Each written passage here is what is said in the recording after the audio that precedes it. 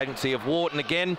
Uh, he's found a teammate out, kicks the ball, searching for the top of the up near the top of the goal square, and a nice mark taken by Louis Hender. Behind him Yes, too. Just, just really across, yeah, is, isn't it? across the ground, a light breeze. But uh, as uh, Hender comes in now, kicks deliberately going. It looks like no mistake there. Louis Hender, his first goal. coming away now, down towards the half forward line. Looking down here for that was a great mark taken by uh, Mi- uh, Mitch Mi- Harvey. Mitch Harvey, and another mark has been taken. Hands through Thring, coming through the centre. Did he hang on to it a bit too long? No, he's spotted up Lee Riswick, who handballs the ball. Whoa!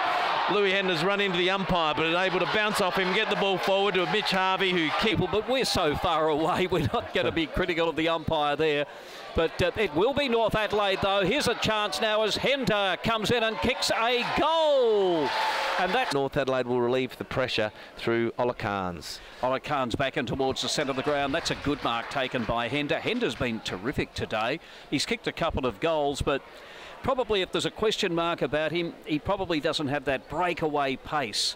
But uh, and that's probably why he's not with uh, Matthew and Jonathan, and uh, how that would have impacted them. But it's going to be North Adelaide going deep into attack again. This time through Minavini, a shot for goal. It's a goal.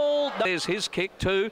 Pinpoint accuracy, got it on to Ramsey, looking further afield, and the mark has been taken by Hender. So, uh, but North are taking a right up to them, um, uh, which is great to see. A great game of SANFL football as Louis Hender comes in. He's kicking for his third goal, kicking from uh, about just over 40. That's a terrible kick at goal, but he's on quickly, kicking the ball up to, to the wing, looking for his teammate in Hender. Hender knocks the ball forward. Uh, Tom Schwartz is able to get the ball free to Alex Barnes, who quick kick forward, and Louis Hender a nice mark. He's really uh, starting to come into this game and, and create a headache. It's like a pinball machine. Riswick now, terrific football, gets it on to Hender. Is he going to take them on? He doesn't have to. Look at that kick on the run. It was phenomenal. uh, Tom Schwartz.